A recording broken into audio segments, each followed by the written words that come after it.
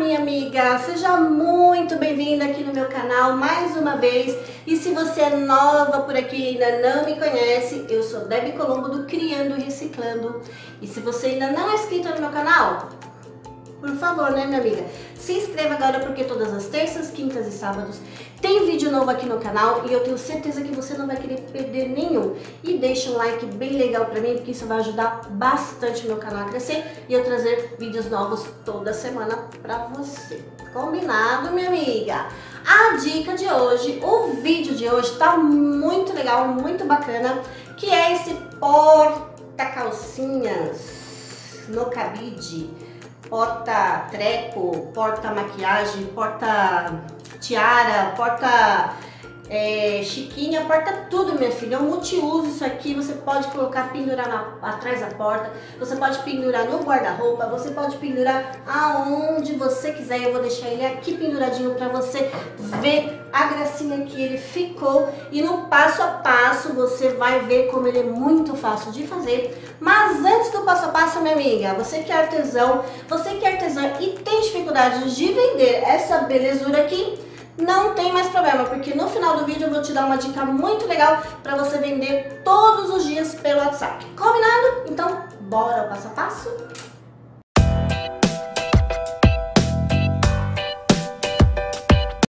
Vamos iniciar mais um passo a passo de hoje, que é o nosso cabide porta-calcinhas feita com fronhas. Muito bem.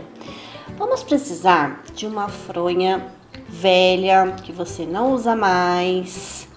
Eu separei uma aqui bem velhinha mesmo, ela tá até manchadinha, mas para o que a gente vai fazer, ela vai servir muito bem. Vamos precisar de cola quente, um cabide, obviamente, né, e a fronha. Para começar, vamos recortar a nossa fronha, separar os dois pedaços, né, o de trás e o da frente. E a parte maior, ela vai medir mais ou menos 46 centímetros por 51 centímetros. O bolso frontal, bolso maior, vai ser 46 por 23. Correto? Muito bem. E os dois bolsinhos menores, que nós vamos dividir ele no meio, né? Vai ser 46 por 17. Tá certo? Então, Corte aí a sua fronha, separe os seus pedaços e vamos iniciar. Primeiro, eu encapei todo o meu cabide, tá? Isso é opcional. Se você quiser encapar o seu, fique à vontade. Se não, pode deixar do jeito que você tem ele aí, tá bom? Eu encapei o meu porque o meu era de arame, eu achei que encapado ia ficar mais bonitinho. Olha como ele ficou. Eu encapei com fita de cetim tá certo? Então tá. Bom, para começar, nós vamos pegar a parte, você vai escolher, tá? Qual parte do, da fronha que você vai usar como a base, né? E vamos fazer uma bainha nas duas laterais, como eu estou fazendo, tá vendo? Usando cola quente, cola de tecido que você tiver aí. Aí você vai medir mais ou menos para ele caber no seu cabide e vai fazer essa bainha certo? Muito bem. Essa vai ser a parte de trás, tá? Então, você mediu, vê que coube lá dentro do seu cabide, né? Agora, nós vamos dobrar essa parte no cabide. Tá vendo? Eu escolhi um lado, eu preferi esse lado aqui. E eu vou dobrar e colar. Fiz uma bainha, tá? Você faz uma bainha na hora de colar para ficar um acabamento mais bonitinho e cola no cabide.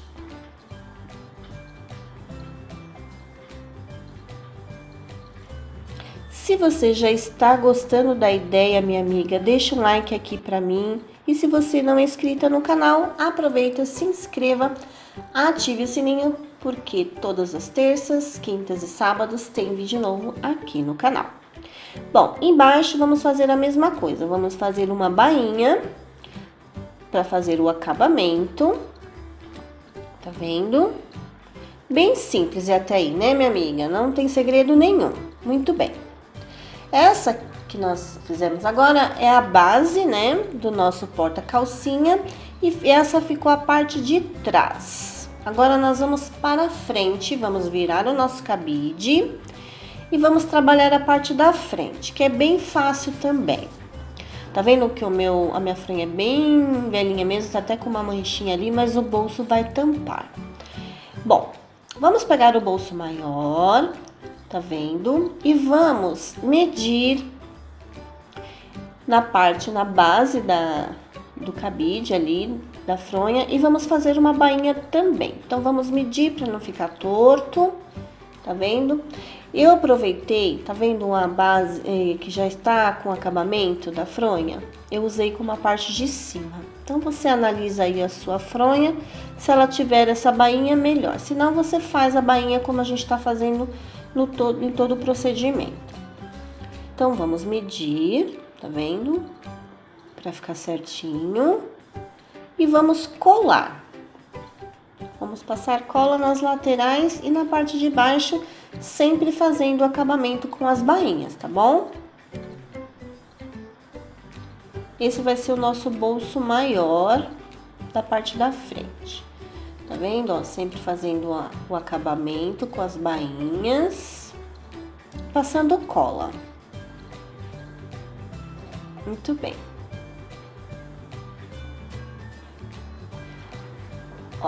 Já ficou com formato de bolso, né? bem lindinho. Agora vamos fazer o bolso menor. O meu tá amassadinho, mas olha, eu passei tanto esse pedaço, mas não sei, passei água e não desamassou. Mas tudo bem, depois com o tempo ele vai desamassar. Bom, o procedimento é o mesmo. Vamos fazer as bainhas, né? Vamos medir ali na base, vamos fazer as bainhas, tá vendo? E vamos colar na base colando as laterais e o fundo. Tá vendo? Muito bem. Agora, nós vamos dividir esse bolsinho menor. Vamos passar cola bem no meio, tá vendo? E vamos formar dois bolsinhos. É só passar cola que ele vai dividir. tá certo? Muito bem. Tá praticamente pronto o nosso porta-calcinhas. Agora, o que nós vamos fazer? A parte mais legal, que é o acabamento. Vamos decorar o nosso porta-calcinhas. Eu usei, tá vendo, uma rendinha embaixo para dar um charme. É opcional também. Você pode usar fitas, rendinhas, o que você quiser nessa parte, tá bom? Você pode também decorar nas laterais. Eu achei interessante só ali, porque senão ia ficar muito emperequetado, né? Porque ainda vou colocar mais alguns enfeitinhos nos bolsos. Então, na parte de baixo você pode pôr suas rendinhas, tá vendo? Pra dar um charmezinho. E nos bolsos eu resolvi colocar umas cianinhas, tá? Aí também é a gosto, fica a seu critério se você quer colocar ou não. Eu só estou dando a sugestão, ok? Então, eu passei, eu medi, né? Cortei já com as medidas certas e agora é só colar. Quero convidar você também, minha amiga, a me seguir nas outras redes sociais. Por quê? Eu tenho um grupo no Facebook, eu tenho uma fanpage também, eu tenho um perfil no Instagram, eu tenho um perfil no Pinterest e também no Vigo Video. Eu vou deixar os links aqui na descrição desse vídeo e eu espero que você vá lá me seguir, porque todos os dias eu posto alguma coisa sobre mim, tá bom? Então tá, vamos continuar o nosso passo a passo. Eu já estou terminando de decorar, já coloquei as minhas cianinhas, olha o charme que ficou, já dá uma outra carinha, né? E para finalizar, eu coloquei algumas florzinhas de EVA. Também opcional, tá, minha amiga? É que eu adoro decorar, eu gosto muito de enfeitar as minhas peças. Aí eu coloquei uma em cada pontinha.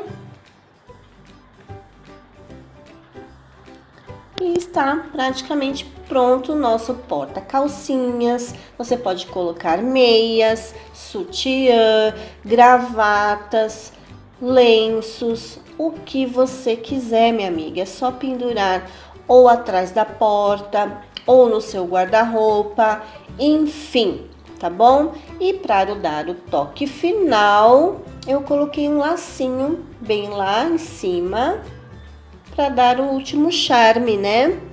O último detalhe, também opcional, tá ok? Veja que graça que ficou. E eu tenho certeza que esse presente a sua mãe vai adorar. Bem útil, bem prático. Eu tenho um desse no meu guarda-roupa, onde eu coloco várias coisas. E você também pode colocar outras coisas, minha amiga. Você pode colocar bijuterias, você pode colocar tiaras, lacinhos de cabelo, enfim, mil e uma utilidades. Eu espero que você tenha gostado da dica e até o próximo vídeo. Bacanérrimo, facinho de fazer uma belezinha, um multiuso, um porta-calcinha, um porta-meia, porta-gravata, porta-sutiã, porta qualquer coisa, minha amiga. É bem útil aí para sua mãezinha você presentear ela e eu tenho certeza que ela vai gostar, tá vendo? Então, a dica que eu ia te dar, que eu falei lá no início do vídeo, para você vender o seu artesanato todos os dias pelo WhatsApp, muito bem. Esse treinamento é feito pela Kélia Souza, é o treinamento Venda Mais pelo WhatsApp. Ela é expert no assunto, ela é super top, ela ensina muito bem. Eu fiz esse treinamento e eu vou te dizer, minha amiga, vale muito a pena. Eu aprendi coisas maravilhosas é a estratégia dela, é comprovada, é garantida e além de tudo você tem sete dias de garantia. Se você não gostar do treinamento durante esse período, você pode requerer o seu dinheiro de volta. Mas eu acho muito difícil porque o treinamento é top, você aprende coisas que você nem imagina. Ela vai te ensinar você a criar listas de transmissão, grupos e o que é mais importante, trazer clientes para o seu WhatsApp. Muito bem. Agora, se você Tá achando pouco? Nada disso, porque ela ainda vai te disponibilizar 12 bônus gratuitos com professores incríveis que você vai aprender coisas muito, muito bacanas, que é, por exemplo, eu vou dar algumas, algumas delas aqui para você. Como fazer cobranças e evitar o fiado. Isso, minha filha, é muito top. Criar sua própria fanpage no Facebook. Muitas de nós não sabemos criar fanpage, eu não sabia, aprendi e é muito bom para os nossos negócios. É, configurar o seu perfil no Instagram para negócio. Eu tinha meu perfil físico particular, né? Agora eu tenho um perfil de negócios. É muito bom. Eu estou vendendo e estou tendo bastante seguidores no Instagram também. Criar a sua própria logomarca. Vou passar a minha aqui, ó. Eu que fiz essa logomarca aqui, ó, criando e reciclando. Euzinha que fiz tô me achando e você também pode fazer a sua, minha amiga. Vai lá! Criar um perfil no Pinterest, que esse é uma plataforma muito bacana, onde você tem bastante dicas de artesanato lá, muitas coisas legais, vale a pena você ter um perfil no Pinterest também. E como ficar no topo das buscas do Google. Menina, você não tem noção como isso é legal você aprender. Então, não perca essa oportunidade, vai lá, eu vou deixar o link aqui na descrição desse vídeo e não perca tempo. Vai e depois você me conta aqui nos comentários. Combinado? Beijos no seu coração e até o próximo vídeo. Tchau!